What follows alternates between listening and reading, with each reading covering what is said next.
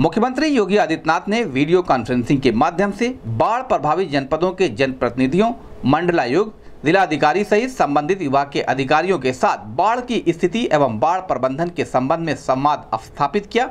गोरखपुर के एनआईसी सभागार में आयोजित वीडियो कॉन्फ्रेंसिंग में सहजनवा के विधायक शीतल पांडे, चौरी चौरा की विधायक संगीता यादव, खजनी के विधायक संत प्रसाद गोरखपुर ग्रामीण विधानसभा के विधायक विपिन सिंह के अलावा मंडलायुक्त जयंत नालीकर, जिलाधिकारी के विजय पांडियन, मुख्य विकास अधिकारी इंद्रजीत सिंह एडीएम फाइनेंस राजेश सिंह, अपर आयुक्त प्रशासन अजय कांत सैनी, डीपीआरओ हिमांशु शेखर ठाकुर सहित संबंधित विभागों के अधिकारी मौजूद रहे।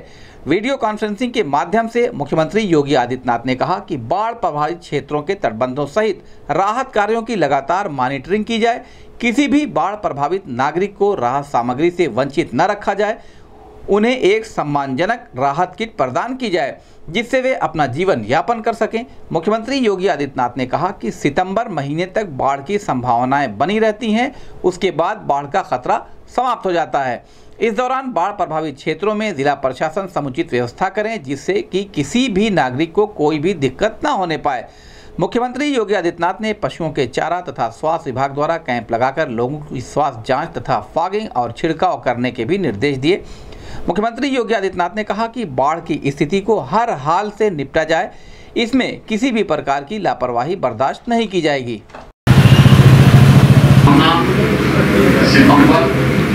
बनी रहेगी।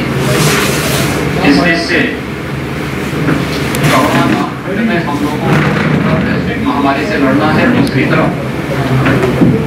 बाढ़ जैसी प्राकृतिक त्रासदी का भी सामना करना है। मेरे साथ में यहाँ प्रदेश में मुख्यालय पर प्रदेश के मुख्य सचिव भी हैं। एस डी एम ए के उपाध्यक्ष general R P Shahi ji भी हैं। प्रदेश के अपर मुख्य सचिव गृह अपर मुख्य सचिव ग्रामीण विकास और पंचायती राज अपर मुख्य सचिव राजस्व अपर मुख्य सचिव सिंचाई और मुख्यमंत्री कार्यालय के साथ साथ पशुपालन विभाग के यहाँ पर अधिकारीगण भी सभी मौजूद हैं और इसी दृष्टि से आज हम सब आज यहाँ पर इस वीसी के माध्यम से वीडियो कॉन्फ्रेंसिंग के माध्यम से सभी जनपदों में अब तक हम लोग संवाद बना रहे हैं। मैं सबसे पहले प्रदेश में अपर मुख्य सचिव,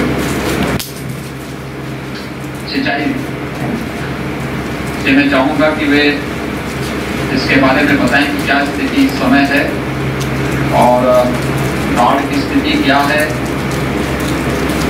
जो जनपद अभी तक उन्नीस जनपद प्रभावित हैं। इनमें क्या स्थिति है? तटबंधों की स्थिति नदियों की स्थिति। इसके बाद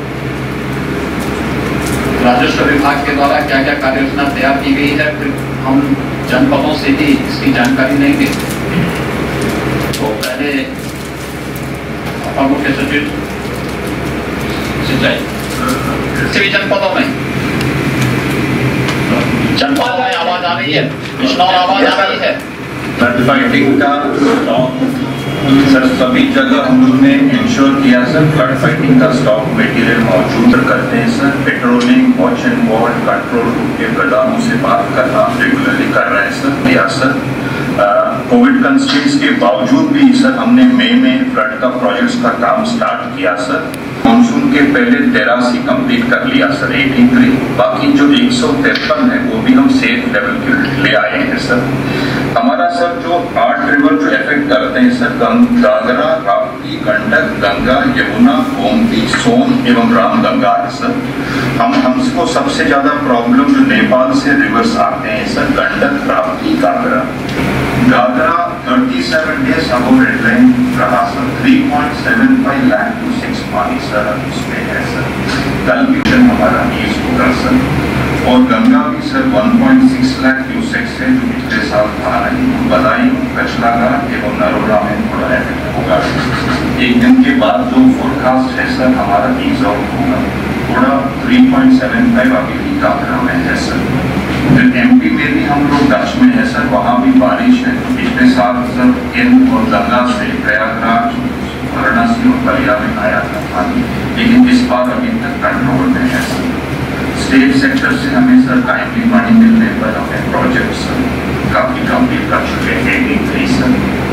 ईस्टर्न यूपी में सर पिछले साल से कंपेयर करेंगे बीस परसेंट ज़्यादा पानी रहा सर बहुत सी जिलों में गोरखपुर कोटा या पच्चीस परसेंट से भी ज़्यादा बारिश हुआ है सर बीच में जो हेवी रेन था सर, तीन जिलों में हमारा थोड़ा ब्रेचेस हुए थे। आजमगढ़ मऊ और गोंडा सर तो तीनों में हम लोगों ने क्लोज कर पाया सर ब्रेचेस को।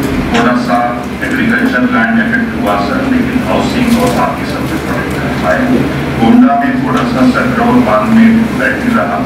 लेकिन एक रिंग बाँध बनाकर सर पैरेलली बॉन्डिंग करके हमने उसको को किया। फीडबैक लेते हैं सर। और कहीं कहीं छोटा सा भी घटान होगा इमीडिएटली आर से काम करा है।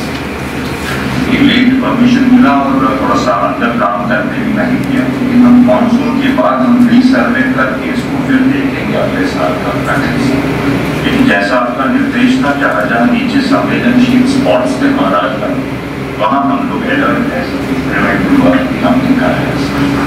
ओवरऑल हमारा आठ पॉइंट है सर मानसून अपर मुख्य सचिव राजेश्वर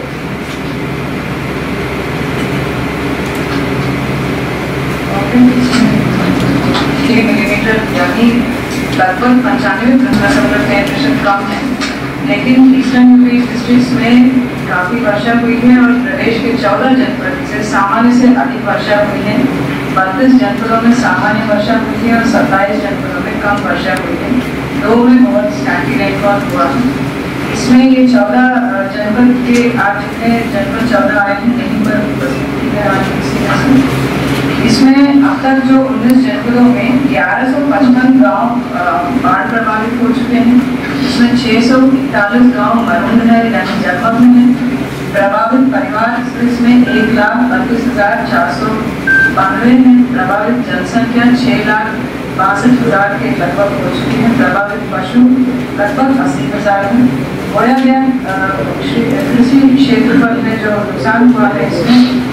चालीस हज़ार तीन सौ बत्तीस हेक्टेयर है जो अभी अनुमानित है। बाढ़ का पानी उतरने के बाद उसमें सही आमदन बाढ़ के कारण जो जनहानियाँ हुई हैं चौदह हुई हैं। बाढ़ के क्षतिग्रस्त मकान तेरह सौ के आसपास स्तर कम होने के कारण वहाँ पर बाढ़ से थोड़ी राहत तो मिली है लेकिन वहाँ पे सतर्कता बरतनी पड़ेगी। जो मैंने पहले भी कहा कि अभी तो ये शुरुआत हो सकती है। और हमें उसी दृष्टि से अपनी तैयारी रखनी होगी मैं चाहूँगा जनपद स्तर से क्या तैयारियाँ की हैं और अन्य जनप्रतिनिधियों के साथ संवाद बना करके जो मैंने पहले भी निर्देश दिया था कि राहत कार्यों को करने, सोशल डिस्टेंसिंग का पालन करते हुए, अव्यवस्था की स्थिति न हो, कोरोना संक्रमण को रोकते हुए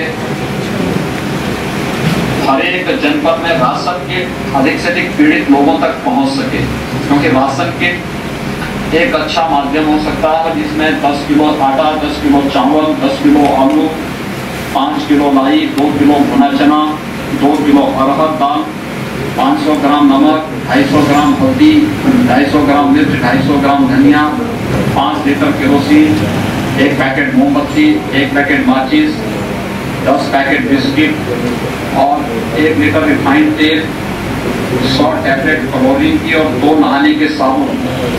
ये जो है राशन किट के साथ हर एक बाढ़ पीड़ित परिवार को, जो मैरों के गाँव में जितने भी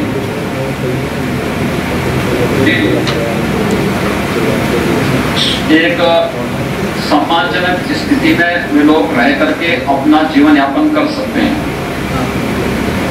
मैं जनपद वाइज जाना चाहूँगा और उसके बाद माननीय जनप्रतिनिधि भी जो भी इसमें सुझाव देना चाहेंगे, उनसे बातचीत करेंगे।